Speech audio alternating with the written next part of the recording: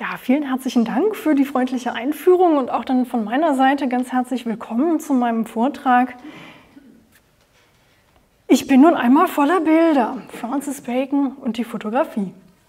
Ich spreche so ungefähr 50 Minuten und dann freue ich mich wirklich auf Ihre Fragen. In diesem Vortrag möchte ich das Verhältnis Bacons zur Fotografie näher beleuchten und weil wir heute jetzt im Museum Ludwig zusammengekommen sind, lege ich dabei ein besonderes Augenmerk auf das Bacon-Gemälde hier in der Sammlung, die Second Version of Painting 1946, Museum of Modern Art, New York von 1971. Zu der Second Version gehört natürlich auch eine First Version, das Painting 1946. Und ich erzähle also heute Abend auch die Geschichte von zwei Gemälden, die unmittelbar und ganz untrennbar miteinander verbunden sind.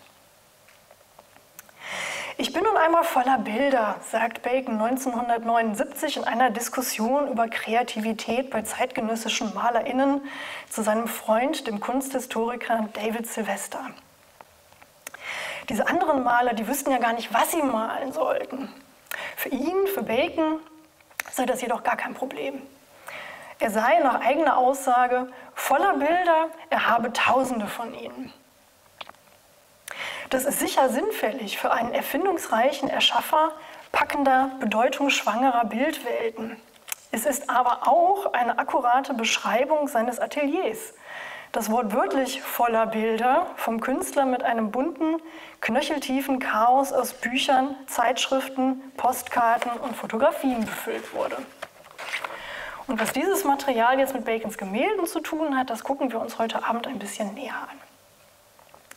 Die farbverschmierten Buchseiten und zerrissenen Fotografien erlauben gleichsam einen Blick in den Kopf des Künstlers. Ich lade Sie also ein auf eine Reise in Bacons Arbeits- und Entscheidungs- und Denkprozesse und in die Zeit vor dem eigentlichen Malakt, in der sich aus Myriaden präexistenter Bilder die Ikonografie auf der Leinwand formt. Im Folgenden möchte ich Ihnen zunächst ein wenig Hintergrundwissen zu Bacons Arbeit nach Fotografien vermitteln, um dann einen Überblick über seine Arbeitsmethoden und deren Eigenheiten zu präsentieren. Danach widmen wir uns ausführlicher Painting 1946 und der Second Version of Painting 1946 als Fallbeispiele. Abschließend diskutiere ich, wie Bacons Arbeit nach Fotografien in die Kunstgeschichte eingeordnet werden kann und was dieses Forschungsfeld vor allem im Hinblick auf die Interpretation seiner Werke leisten kann, was vor allem aber auch nicht. Tatsächlich eignet sich Painting 1946 aber auch ganz wunderbar als Einstieg in meine Ausführungen. Francis Bacons eindringliche und ganz eigene Darstellung des menschlichen Körpers brachte ihm internationale Popularität und kunsthistorische Anerkennung. Über seine Arbeitsprozesse und die Herkunft seiner Ikonografie war allerdings bisher sehr wenig bekannt. Der Künstler selbst hielt seine Methoden von der Öffentlichkeit fern und propagierte stattdessen die Idee, seine verzerrten Porträts und deformierten Akte entstünden per Zufall. Eine Vorstellung, die sich hartnäckig in der Bacon-Literatur hält. Über eben jenes Painting 1946 sagte Bacon zum Beispiel, Zitat, eines der Bilder, die ich 1946 malte, das aussieht wie ein Fleischerladen, kam mir durch Zufall. Erst nach Bacons Tod 1992 wurde der Inhalt seines letzten Ateliers in der Seven Rees Mews, London, für die Forschung zugänglich gemacht. Nach dessen Umzug an die Dublin City Gallery The Hulane 1998 begannen WissenschaftlerInnen punktuell aus den Bildvorlagen unter den 4000 flachen Objekten, zerschlissenen Büchern, zerknitterten Magazinen, herausgerissenen Seiten, Zeitungsschnipseln, aber auch bunt mit Farbe bespritzten Fotografien sowie deren teils desolaten Zustand wertvolle Hinweise auf Bacons Arbeitsmethoden zu ziehen. Die Bilder und Bildfragmente blieben jedoch lange Zeit nur unvollständig identifiziert und das Material wurde nie umfassend und systematisch mit Bacons Gemälden verknüpft. Und diese Forschungslücke habe ich dann mit meiner Arbeit gefüllt. Im Prinzip wussten wir bereits seit 1949, dass Bacon im Arbeitsprozess auf fotografisches Material zurückgriff. In diesem Jahr wies der Kunstkritiker Robert Melville auf die frappierenden Ähnlichkeiten zwischen Bacons Head Six von 1949 und einer Szene aus Sergei Eisensteins Stummfilm Panzerkreuzer Potemkin von 1925 hin. In den folgenden Jahrzehnten entdeckten aufmerksame Kritiker sporadisch einzelne ikonografische Bezugspunkte, besonders zu den fotografischen Bewegungsstudien von Edward Muybridge, die schnell als wichtiger Einfluss auf Bacons Kunst erkannt wurden. Bacon selbst hat allerdings nie erlaubt, seine Arbeitsmethoden in der Tiefe und im Detail zu studieren und er autorisierte nur dreimal die Publikation von Fotografien einzelner Objekte aus seinem Atelier. Vermutlich fürchtete er die Missbilligung des britischen Kunstestablishments der Nachkriegsjahre, das noch lange die Fotografie nicht im Bereich der bildenden Künste akzeptieren sollte, unter anderem wegen ihrer mechanischen Natur. Die Arbeit von und mit Fotografien war zudem von jeher mit einer gewissen Vorstellung von Bequemlichkeit, Faulheit und fehlender Kreativität verbunden. Trotz der wenigen Informationen, die der Öffentlichkeit zu diesem Thema zur Verfügung standen, bemängelte Norbert Linden an den Gemälden in Bacons Retrospektive an der Tate Gallery im Jahr 1962 ihre Zitat außergewöhnliche Abhängigkeit von zweiter Hand Bildern, sogar zweiter Hand Vorstellungskraft. Als Konsequenz gab es zu Bacons Lebzeiten wenig Forschung auf diesem Gebiet und seine Materialsammlung konnte erst posthum näher analysiert werden. Seit 1998 wurden dann eine ganze Reihe neuer Bezüge zwischen Bacons Gemälden und seiner Ansammlung an Büchern, Fotografien und Zeitungen etabliert. Die große Menge an Bild-Bild-Bezügen, die meine neueste Forschung zutage brachte, war trotzdem eine Überraschung. Besonders wenn man sie gemeinsam mit jenen Bildpaaren betrachtet, die bereits von anderen WissenschaftlerInnen entdeckt wurden. Ausgehend von dem Material in Rees Muse konnten so insgesamt 369 von 584 Gemälden, die im 2016 erschienenen Francis Bacon Catalogue Raisonné aufgelistet werden und einige zusätzliche zerstörte und heute verschollene Gemälde mit einer oder mit mehreren Quellen verbunden werden. Diese fanden sich über alle Jahrzehnte von Bacons Schaffen hinweg in allen Genres, allen Stilrichtungen und für alle Motivarten. Bildliche Übereinstimmung definiere ich als grob sich entsprechende Umrisslinien von Körpern und Räumen, also Gleichheit in den Dimensionen und Proportionen von Gliedmaßen und Perspektivlinien sowie einer ähnlichen Positionierung zueinander und auf der Bildebene. Das wird gleich vielleicht noch ein bisschen deutlicher, wenn wir mehr Beispiele sehen. Die Tatsache, dass eine so große Menge und über den Verlauf von Bacons Karriere konsistente Anzahl an Gemälden von fotografischem Quellenmaterial bestimmt wurde, lässt die Schlussfolgerung zu, dass dies vermutlich für Bacons gesamtes Werk gilt. Jetzt, wo erstmals alle bisher bekannten Quellen zusammengebracht wurden, kann man jetzt auch beginnen, bestimmte Muster und wiederkehrende Methoden in Bacons Vorbereitungsarbeiten und seiner Entlehnungspraxis zu erkennen und zu interpretieren. Von 1961 bis zu seinem Tod wohnte und arbeitete Bacon in der Seven Rees Mews im Londoner Stadtteil South Kensington. Zwar arbeitete der Künstler davor und parallel auch an anderen Orten, doch war Rees Mews sicher der wichtigste Standort in dieser Zeit. Und weil nach 1992 nahezu das gesamte Arbeitsmaterial erhalten werden konnte, ist es das heute bei weitem am besten erforschteste Atelier. Die Tatsache, dass so viele Elemente seiner Ikonografie direkt zu diesem Material zurückverfolgt werden können, macht überdeutlich, dass die scheinbar so sorglos über den Boden verteilten Haufen an zerknitterten Zeitungen und zerfledderten Büchern mehr waren als eine Exzentrizität oder ein reines Nebenprodukt des Arbeitsprozesses. Die Bilder, die Bacon in Reesmuse akkumulierte, fungierten als mehr als nur eine generische Inspiration. Sie waren ein Bilderspeicher, den Bacon zu dem alleinigen Zweck angelegt hatte und pflegte, um ihn mit Motiven für seine Gemälde zu versorgen.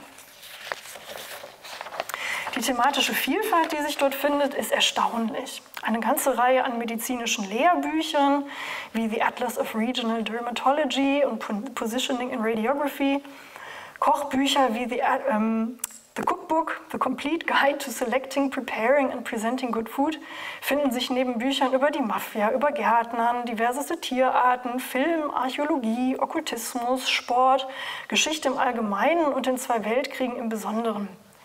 Dazu kommen unzählige Zeitungen und Magazine.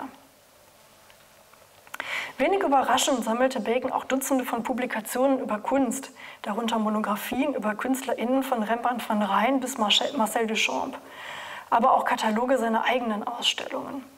Manchmal besaß Bacon mehrere Kopien desselben Buches, so etwa drei Ausgaben von Robert Darleys The Swords of Spain. Zusätzlich dazu wurden zahlreiche Fotografien entdeckt, wie etwa 300 Abzüge oder deren Fragmente von Bacons Fotografenfreund John Deacon, die dieser in Bacons Auftrag zwischen ungefähr 1957 und 1970 angefertigt hatte. Deacon machte Porträt- und Aktaufnahmen von Bacons Freunden wie Muriel Belcher und Lucian Freud sowie von Liebhabern wie George Dyer. Aus den 1950er Jahren sind einige Versuche überliefert, Porträts nach den physisch im Atelier anwesenden Personen zu malen. Doch diese Bemühungen, die gab Bacon sehr schnell auf. Stattdessen war er, wenn er arbeitete, allein im Atelier, allein mit Myriaden von Bildern.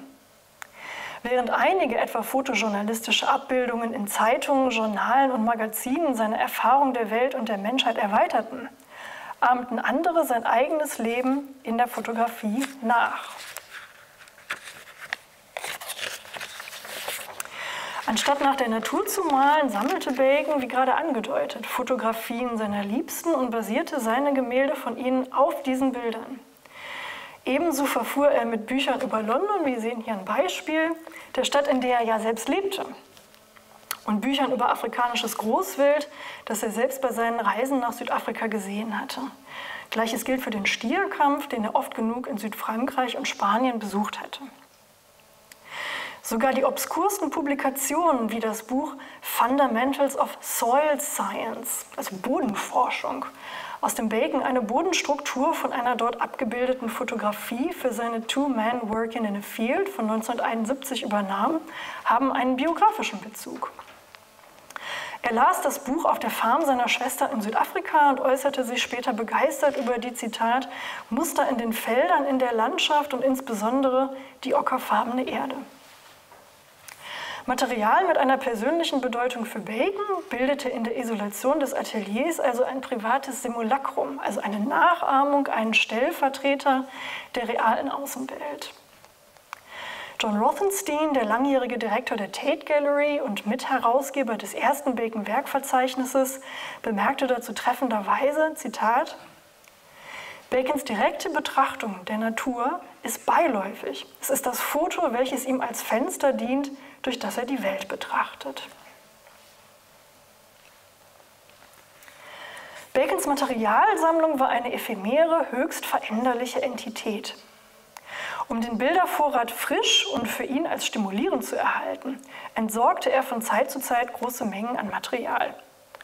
Zudem ließ der Künstler einige Bilder bis zur Unerkenntlichkeit zerfallen. Er befüllte den Raum dann allerdings wieder ebenso schnell, wie er das Material zuerst abgestoßen hatte. Darum sind quantitative Dynamiken nur schwer zu erfassen und mit aller Vorsicht zu bewerten. Es scheint jedoch, als ob einige thematische Spitzen chronologisch parallel zu einem vermehrten Auftreten bestimmter Motive auf den Leinwänden vorzufinden sind. Bacon wählte den Stierkampf zwischen 1967 und 1991 fünfmal als Hauptsujet, davon dreimal im Jahr 1969.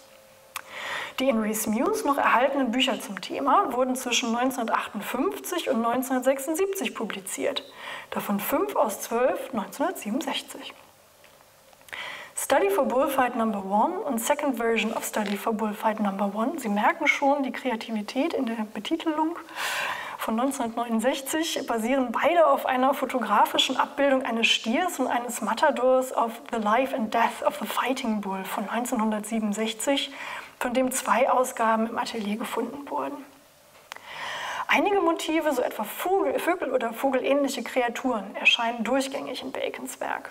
Etwa im Triptych Inspired by the Orestia of Aeschylus von 1981, das wir uns später nochmal genauer anschauen werden. Publikationen über Ornithologie, wie zum Beispiel Birds of Prey of the World von 1964 und Eric Hoskins Birds 50 Years of Photographing Wildlife von 1979 finden sich ebenso durchgängig in der Büchersammlung. wir nun zu Bacons Entlehnungspraxis selbst. Ein genauerer Blick auf die Dynamiken innerhalb der Bild-Bild-Bezüge eröffnet gewisse sich wiederholende Muster und Methoden. Deren Analyse hilft uns besser zu verstehen, wie die Bildquelle das gemalte Motiv bestimmt und wie Bacon seine Kompositionen auf der Leinwand aufbaute. Allerdings auch, wie wir sehen werden, wo das fotografische Material für ihn an Bedeutung verliert. Für gewöhnlich gibt es mehr als eine Quelle pro Gemälde oder gar pro Motiv. Diese werden überblendet oder geschichtet oder collageartig aneinandergefügt. Bacons Zitat Tatsächlich verwirren sich Michelangelo und Mybridge in meinem Kopf. Kann man manchmal also durchaus wörtlich nehmen. Der Unterkörper des männlichen Aktes in Study from the Human Body, Men Turning on Light von 1973, bezieht sich vermutlich sowohl auf eine Vorstudie für das Fresko in der Paulinischen Kapelle im Vatikan von Michelangelo, als auch auf eine manipulierte Fotografie eines Man Shadowboxing von Mybridge. Die zweite Verbindung, die zu der Mybridge-Serie, ist besonders signifikant, weil die Faltung des Blattes in dem wie aufgespalten wirkenden, segmentierten Rücken der gemalten Figur direkt übernommen wurde. Der zweite Teil von Bacons Kommentar verdeutlicht, dass es sich nicht um wahllose Kombinationen handelt. Er erhoffte sich nämlich das eine von der einen und etwas anderes von der anderen Quelle. Er erklärte, Zitat, Vielleicht habe ich etwas von Mybridge über die Stellungen des Körpers gelernt und von Michelangelo über die Fülle und Erhabenheit der Form. Und beides lässt er dann im Gemälde verschmelzen. Eine andere Art und Weise, Quellen zu verbinden, nutzte er für Study for the Human Body von 1991.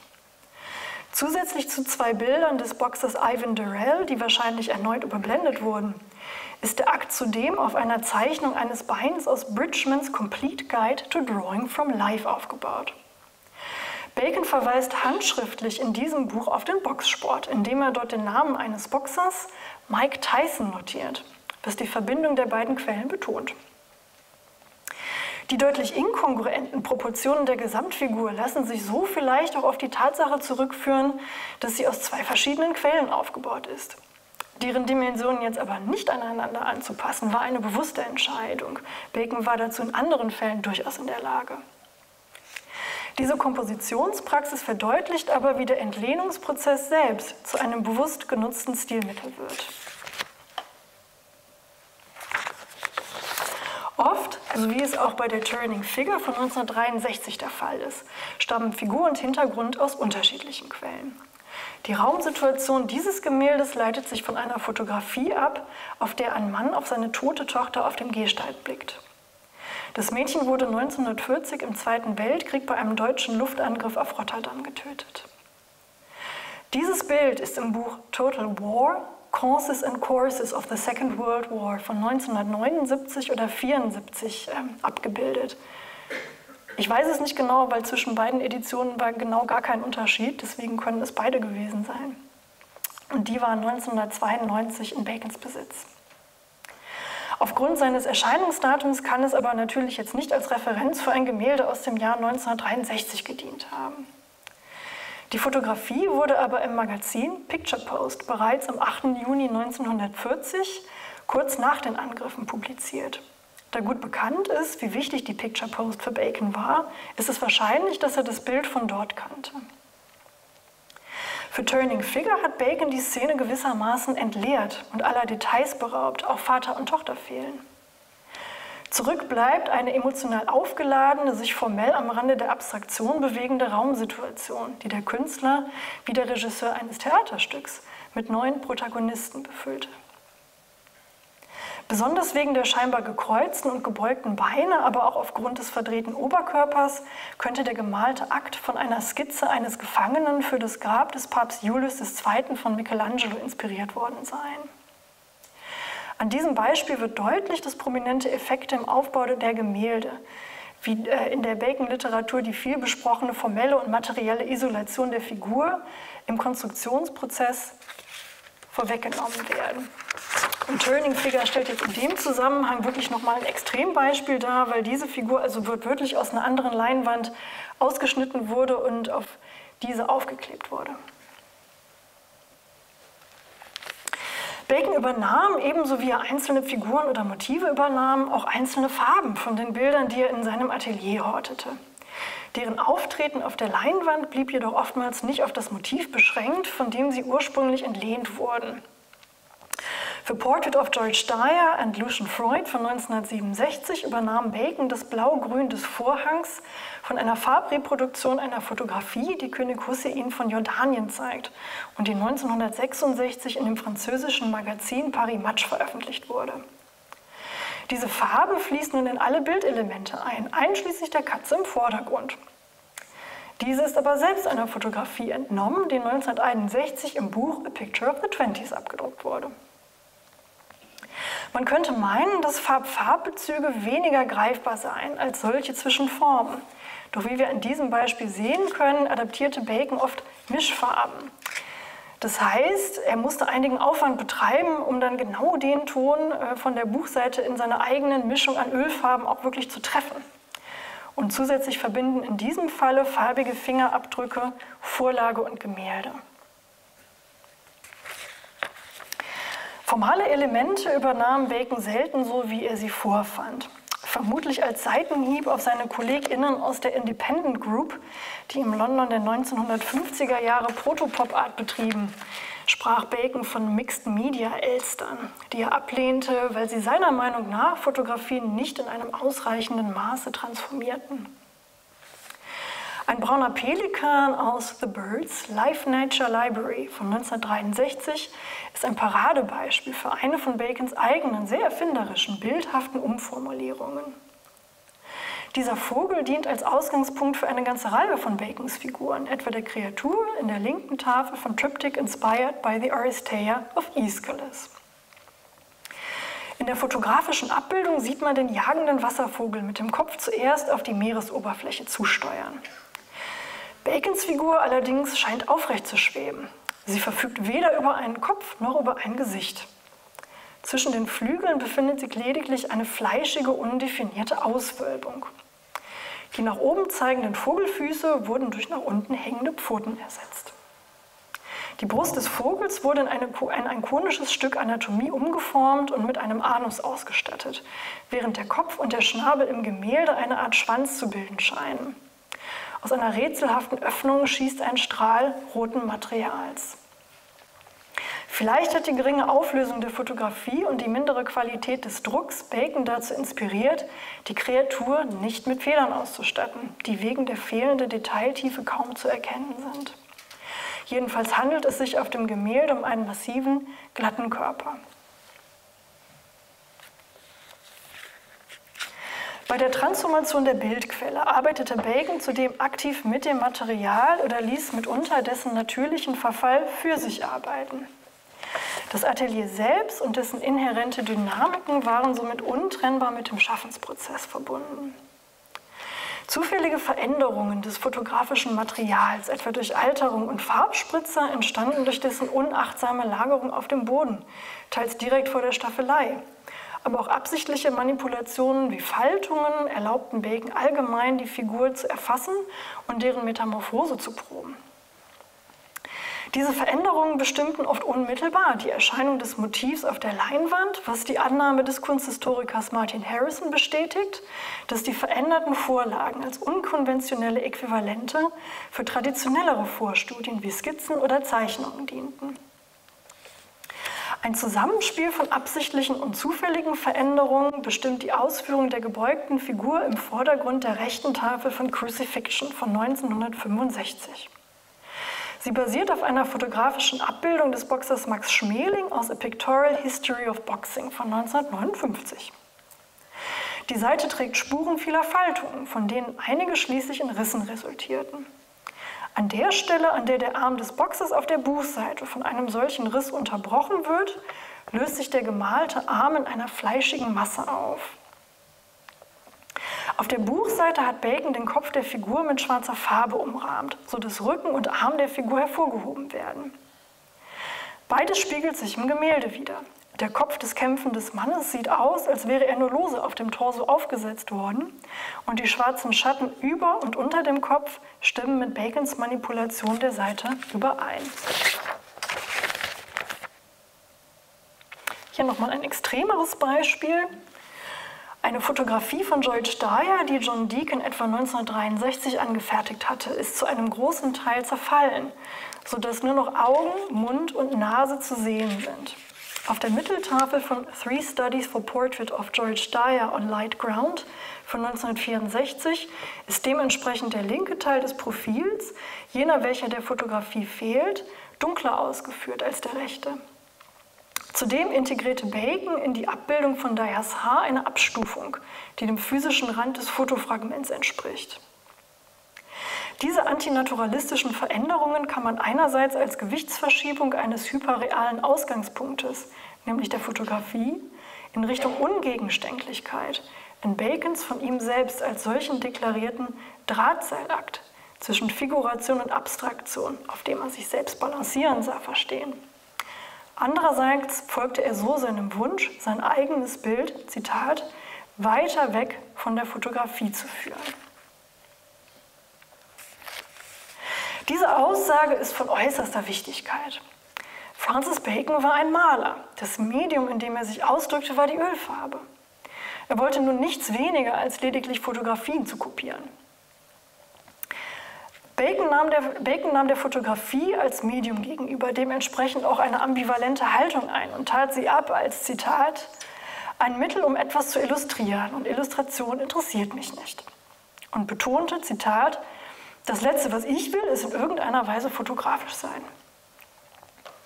In der Tat muss man den Nutzen der Fotografie für Bacon in seiner Arbeit stark qualifizieren. Eine der Grenzen, hinter der die fotografische Vorlage für ihn keinen Gewinn mehr birgt, findet sich in der Materialität seiner Gemälde. Der Schwerpunkt der formalen Entlehnung liegt bei aller kreativen Umformung auf den Umrisslinien der Figur. Dies erlaubt, die Quellen überhaupt zu identifizieren. Denken wir an den jagenden Pelikan zurück, den Bacon für das Triptych Inspired by the Earth Day of Aeschylus so radikal verfremdete. Das Innenleben der Figuren wird allerdings hauptsächlich vom Malmaterial und seiner Handhabung bestimmt. Während sich also Gemälde und Fotografie im Frühstadium des Ersteren nahestanden, folgt eine deutliche Zäsur, wenn der eigentliche Malprozess beginnt. Dies liegt auch an den Eigenschaften des Malmaterials. Ölfarbe wird in der Kunstgeschichte traditionell als viszerale, organische Versinnbildlichung von Leben interpretiert. Aufgrund ihrer Textur und Viskosität wird sie oft mit Körperflüssigkeiten, Ausscheidungen, Haut und Fleisch verglichen. Der Kurator Mark Scala betont, Zitat, die Klebrigkeit der Ölfarbe macht sie zu einem Spiegel der gelatineartigen Essenz des Körpers. Das Medium ist also in der Lage, die Substanz, den Stoff der Figur, die sie ausbildet, nachzuahmen, ja mehr noch sie zu verkörpern. Ölfarbe wurde darum in der Kunstgeschichte auch als ein Äquivalent für Fleisch und eine Trope als ein sinnbildlicher Ausdruck für Leben beschrieben. Für einen Maler, der sich wünschte, dass seine Gemälde aussehen mögen, Zitat, als ob ein Mensch sich zwischen ihnen hindurch bewegt hätte wie eine Schnecke, eine Spur der menschlichen Gegenwart und Erinnerungsspur vergangener Ereignisse hinterlassend, wie eine Schnecke ihren Schleim hinterlässt. Und der für seine Malerei, Zitat, ein vollständiges Verzahnen von Bild und Farbe, sodass das Bild die Farbe ist und umgekehrt erreichen wollte, waren dies ausschlaggebende Materialeigenschaften und eine zentrale Abgrenzung der Medien voneinander. Fotografie ist zwar indexikal, das heißt, es besteht eine unmittelbare physische Beziehung zwischen Motiv und Fotoabzug. Die Authentizität und Wahrheit mit der Fotografie verknüpft, aber als Gegenstand ist sie doch im Vergleich flach, trocken und geruchlos. Der gestische, expressive, vom provozierten Zufall geprägte Farbauftrag repräsentiert eine klare Abkehr von der Vorlage. Im Zusammenspiel von Motiv, Material und dessen Handhabung verliert die fotografische Referenz ihre Bedeutung. So, bis jetzt habe ich Ihnen ein bisschen einen Überblick über Bacons Entlehnungspraxis präsentiert und jetzt äh, gucken wir uns die Second Version und ihre Quellen noch mal näher an, um die Entlehnungsmechanismen im Detail vielleicht noch ein bisschen besser zu verstehen. Die Second Version hier im Museum Ludwig ist buchstäblich eine zweite Version und keine Variation eines Motivs. Zunächst gilt es also zu klären, wovon ist das Bild überhaupt eine zweite Version und warum existiert es. Da liefert der Titel äh, natürlich den entscheidenden Hinweis und wir haben es ja auch schon gesehen, es handelt sich um die Second Version des Painting 1946, das sich bis heute im Museum of Modern Art in New York befindet. Painting 1946 nimmt in Bacons Werk eine besondere Position ein. Seine Arbeit bis zu diesem Zeitpunkt war stark von der Auseinandersetzung mit dem spanischen Künstler Pablo Picasso geprägt. Die Grisaille-Figuren in Gemälden wie Three Studies for Figures at the Base of a Crucifixion von 1944 ähneln beispielsweise den abstrahierten Badenden in Picassos Gemälden des Strandes von Dinar aus den späten 1930er Jahren. In Painting 1946 haben wir es jetzt nicht mehr mit einem Biomorph zu tun, sondern begegnen einer deutlich naturalistischer dargestellten Figur. Zudem änderte Bacon hier auch seine Malweise. Der Farbauftrag wird pastoser und gestischer und Hintergrund und Farbe sind stärker miteinander verbunden. Die inkongruente Zusammenstellung von Motiven, also Rinderhälften, ein Mann im Anzug, Girlanden, ein Schirm, Mikrofone und ein Orientteppich, das wirkt wie ein Rückgriff auf den Surrealismus. Bacon erschafft durch die Zusammenstellung und Präsentation der Einzelelemente eine hoch aufgeladene, bedeutungsschwangere, ja beunruhigende Situation. Besonders unheimlich wirkt die Figur, weil wir ihre Augen und die ganz obere Gesichtshälfte nicht sehen können. Trotzdem scheint der Mann im Anzug zu kommunizieren. Der Mund ist geöffnet, er spricht in die Mikrofone vor ihm, doch letztendlich bleibt er stumm und seine Botschaft entzieht sich uns. Harrison erinnert die Bildsituation an Fotografien von Adolf Hitler und Benito Mussolini, wie sie unter Baldachinen und Schirmkonstruktionen ihre Reden halten. Und in der Bacon-Literatur allgemein wird der Mann im Anzug zumeist zumindest als Autoritätsperson gedeutet. Bacon gelingt in diesem Werk endgültig die Emanzipation von Picasso und es stellt die Weichen für ein ganz eigenständiges Kunstschaffen. Der Künstler selbst sah das Werk als epochal und für seine Gesamtentwicklung maßgeblich bestimmend an. Als Alfred Barr die Leinwand 1948 für das MoMA erwarb, war es das erste Gemälde Bacons, das überhaupt in eine Museumssammlung aufgenommen wurde. Aufgrund seines hohen Stellenwerts wollte Bacon Painting 1946 natürlich in der großen Retrospektive gezeigt wissen, die der Grand Palais in Paris für Oktober 1971 geplant hatte. Das Museum of Modern Art weigerte sich allerdings seit 1959 aus konservatorischen Gründen, das Bild zu verleihen. Bacon hatte für den pinken Hintergrund Pastell mit Öl gemischt, was sich als nicht stabil herausstellte. Und Farbfragmente drohten abzublättern. Er entschloss sich also kurzerhand, eine zweite Version dieses Werkes anzufertigen. In diesem Fall geht die Genese der Second Version also nicht auf eine kreative, sondern vor allem auf eine pragmatische Überlegung zurück, was aber, wie wir im Folgenden noch sehen werden, den Prozess seiner Entstehung und das Endergebnis nicht minder spannend macht. Letztendlich erlaubte das MoMA dann aber doch, das Gemälde nach Paris zu verschiffen und erste und zweite Versionen wurden nebeneinander ausgestellt. Ich habe Ihnen das mal so rot umrahmt, damit Sie das besser finden können in dem Installation Shot. Das erlaubte den Besuchern damals, die beiden Gemälde direkt zu vergleichen und das machen wir jetzt auch. Es fällt sofort auf, dass die zweite Version gegenüber der ersten sehr viel minimaler und konzentrierter gestaltet ist. Viele Elemente fehlen, so etwa der gemusterte Teppich im Vordergrund, die Mikrofone und die Blume im Knopfloch. Der Hintergrund wird zu einer monochromen Farbfläche reduziert. Bacon absorbiert die Entwicklung der Kunstgeschichte zwischen 1946 und 1971 mit immer stärker werdenden Tendenzen zur Abstraktion. Schauen Sie sich die Farbfeldmalerei und den abstrakten Expositionismus hier im Museum mal im Vergleich an. Die Reduzierung der Raumsituation ist eine Entwicklung, die in Bacons Werk bis zu seinem Tod immer extremer werden sollte. Sie erlaubt die totale Fokussierung auf die Figur, die isoliert auf zunehmend abstrakteren Hintergründen platziert wird und manchmal nur noch ganz lose durch Geländer oder ein Rund überhaupt im Raum verankert wird. Die Farbgebung ist, ist insgesamt viel heller, Brombeer und Schwarz werden zu beige, auch Mantel pink zu grellem Gelb. Die Figur in Painting 1946 begegnet uns frontal und wirkt massiv und statisch, wohingegen die in der zweiten Version ungleich dynamischer auftritt. Der Kopf ist zur Seite gewendet, die Schultern leicht entgegengesetzt verdreht, die Beine deutlicher übereinander geschlagen und ein Fuß ist leger auf dem Geländer abgestellt. Insbesondere sehen wir in der Second Version nur die Andeutung von Nase und Augen, wo in Painting 1946 die obere Hälfte des Gesichts in Gänze vom schwarzen Schatten unter dem Schirm geschluckt wird. Wichtige Elemente, die auch in der Second Version eine Aura des Geheimnisvollen und Unheimlichen hervorrufen, bleiben jedoch erhalten, so etwa die Tierhälften im Hintergrund und der aufgespannte Schirm.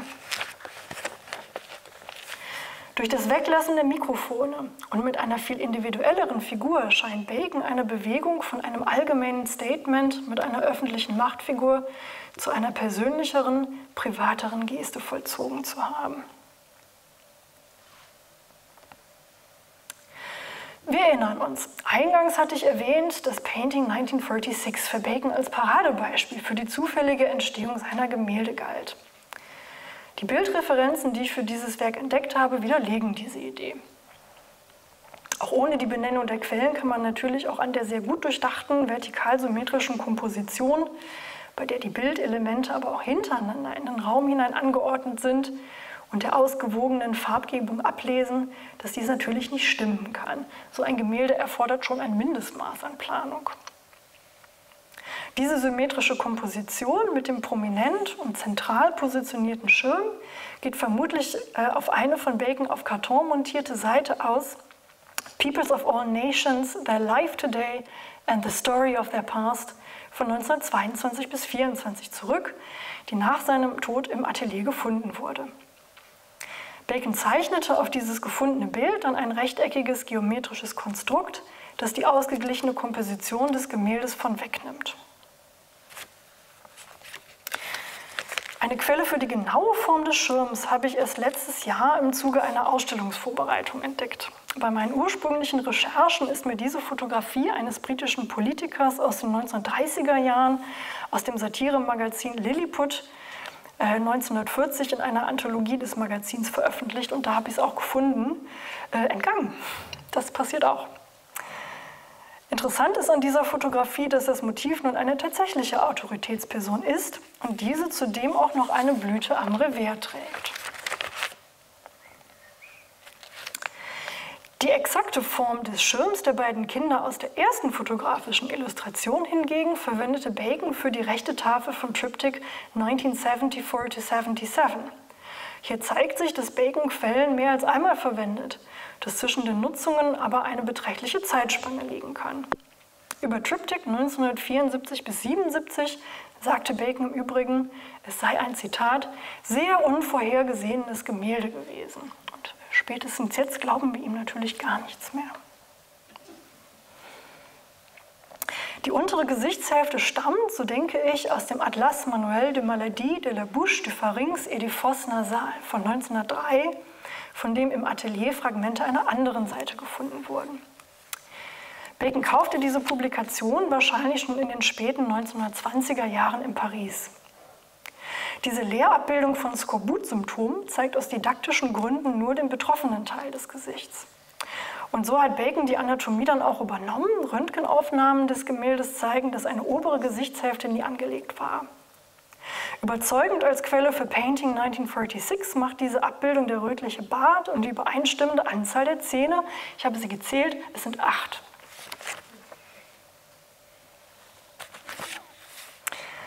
Eine andere Seite des Buches Roses of the World in Color von 1937 wurde ebenfalls im Atelier gefunden. Die Abbildung dieser gelben Teerose, benannt nach der später verschollenen Luftfahrtpionierin Amelia Earhart, bestimmt das leuchtende Gelb der gemalten Rose ebenso wie die Form der Blütenblätter.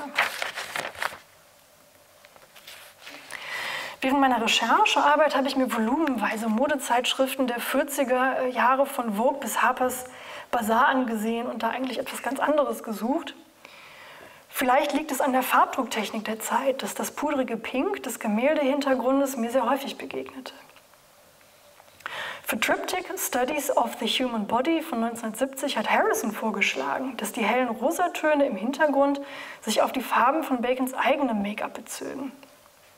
Mir erscheint es doch sinnfällig, dass er sich in den 1940ern von solch einer oder einer ähnlichen Make-up-Werbung inspiriert sah, die einen himmlisch pinken Lippenstift anpries. Die Auswahl bestimmter Arbeitsvorlagen ist natürlich eine bewusste Entscheidung, kein Zufall. Denn die Kombination der Quellen, deren Positionierung innerhalb der Komposition und die Verarbeitung verschiedener Quellengrößen möchte wohl überlegt sein. Trotzdem geht es natürlich bei meiner Arbeit nicht darum, nun unbedingt die Selbstaussagen des Künstlers zu widerlegen. Vielmehr soll auf einer technischen Ebene der bisher unbekannte Prozess der Genese der Gemälde nachvollzogen werden, um diese Vorgänge einzuordnen und interpretieren zu können. Dabei können wir schon jetzt konstatieren, dass wir es mit einem sehr kreativen Kombinations- und Transformationsprozess Prozess zu tun haben, bei dem Bacon aus gefundenen Bildern wirklich ganz eigene, enigmatische Szenerien erschafft. Welche Rolle spielen nun diese ursprünglichen Quellen für die Second Version? Wie bereits angedeutet wurden äh, Seiten aus Peoples of All Nations, Roses of the World in Color und dem Atlas de Maladie de la Bouche und so weiter 1992 im Atelier gefunden. Theoretisch hatte der Künstler 1971 also Zugang zu den ursprünglichen Bildreferenzen. Möglicherweise hat ihn dann nochmal diese gelbe Teerose dazu inspiriert, diese Farbe für den Hintergrund zu nutzen, obwohl das Bildelement jetzt im neuen Gemälde fehlt. Die Gesamtkomposition im Sinne der Bildaufteilung und Anordnung der Einzelelemente in der Second Version entspricht exakt dem Vorgängerbild. Weil das Original aber für den Maler unerreichbar in New York hing, muss er vor allem eine andere Art von Referenzen bemüht haben. Er sammelte Abbildungen seiner eigenen Gemälde, die ganz demokratisch, ebenso wie alle anderen Abbildungen, in seinen Bildervorrat flossen. Mutmaßlich nutzte er diese herausgerissene Seite aus seinem Werkverzeichnis von 1964 mit einer Illustration von Painting 1946. Das hielt den Künstler allerdings jetzt nicht davon ab, neue Fotografien zu referenzieren. Bei der Second Version hat Bacon vermutlich, wie auch für andere Gemälde aus dieser Zeit, auf Porträts von ihm, die Deacon in Bacons zeitweiligem Atelier in Roland Gardens im Süden Londons angefertigt hatte, zurückgegriffen. Indizien dafür sind die sitzende Pose und der prominente Mantel. Sich selbst nun in diese ehemals von einer fremden Autoritätsperson eingenommene Position zu platzieren, könnte für das Selbstbewusstsein stehen, das der Retrospektive in Paris ihm vermittelte Ausgerechnet in der Stadt, die Bacon anachronistischerweise Zeit seines Lebens als das Zentrum der Kunstwelt ansah. So könnte dieses Gemälde, subkutan, für Bacon auch aussagen, ich habe es in der Kunstwelt geschafft. So, jetzt kennen wir einige Quellen von Painting 1946 und der Second Version haben wir damit die Gemälde entschlüsselt und ja quasi den Code zur Interpretation geknackt? Mitnichten. Im letzten Teil meines Vortrags schauen wir jetzt nochmal genauer hin, was die Forschungsarbeit zu Bacons ikonografischen Quellen leisten kann, vor allem aber was auch nicht. Bei der Auslotung der Grenzen des Nutzens einer fotografischen Vorlage, beziehungsweise nämlich auch bei der Frage, was Bacon von seinen Quellen übernahm und was nicht, lohnt sich zunächst ein Blick auf die mit ihnen verknüpften Narrative. Die Erzählung in einer Vorlage wurde nämlich meist ignoriert und schon im Vorbereitungsprozess etwa durch das Herausreißen einer Seite unterwandert. Das macht dann so Leuten wie mir das Leben schwer. Bevor das Buch Peoples of All Nations als Quelle der hier gezeigten Buchseite bekannt war, stellte die Abbildung ein Rätsel dar. Heute wissen wir, dass es sich um Kinder aus dem heutigen Vietnam handelt und dass die vollständige Bildunterschrift folgendermaßen lautet, ich zitiere sie hier, junge Charm-Dandys, also Charm scheint ein Volksstamm zu sein, tragen fast die gleiche Kleidung wie ihre Schwestern, mit Armreifen und Ketten als Schmuck. Der Schirm ist reine Eitelkeit. Dieses Spiel mit Gender-Eigenschaften könnte Bacon jetzt angezogen haben, aber nichts von alledem floss in Painting 1946, das kein Bild über Kolonialismus, Südostasien oder kleidungsbezogene Genderfragen ist. Portrait of George Dyer, Staring into a Mirror von 1967 ist gleichermaßen kein Gemälde über Körperertüchtigung und einen gesunden Lebensstil, auf die sich die Referenzabbildung bezieht. Besonders jedoch wegen des verdrehten Oberkörpers der Figur im Zusammenspiel mit einem Spiegel und der darin zu sehenden Reflexion bietet sich dieses Bild aus My System, 15 Minutes Workaday for Health's Sake, formal als mögliche Vorlage an. Ganz im Gegenteil, Dyer scheint auf einem Barhocker vor einem Tresen zu sitzen. Der ihm gegenüber platzierte Spiegel könnte in dieser Lesart eine Allegorie für den Abgrund sein, den Dyers Alkoholismus im realen Leben darstellte und der zunehmend bösartig auf ihn zurückstarrte. Dyer tötete sich 1971 mit einer Überdosis von Barbituraten und Alkohol, übrigens zwei Tage vor der Eröffnung von Bacons Ausstellung im Grand Palais. Diese Missachtung ausschlaggebender Elemente während des Aneignungsprozesses wie des narrativen Kontexts einer fotografischen Quelle verbietet eng gefasste Interpretationen der Gemälde auf deren Basis. Ähnliches lässt sich über die Identität einer abgebildeten Person in einer Vorlage sagen, die nicht unbedingt mit der auf dem Gemälde dargestellten Person übereinstimmen muss. Stattdessen hat Bacon fremde Vorlagen genutzt, um seine Wahrnehmung eines Menschen und seiner Identität, äh, seiner Idee von Identität als fluides, flüchtiges Konstrukt im Porträt näher zu kommen. Die Bedeutung solcherlei Kombinationen bleibt oft verborgen und wir wissen nicht, warum Bacon ein Selbstporträt auf diesem grausamen Foto eines schwer verwundeten Soldaten aus dem Ersten Weltkrieg aufbaute, das er spätestens im Buch 1418, das im Atelier gefunden wurde, gesehen hatte. In anderen Fällen bietet Bacons Biografie uns einige Hinweise.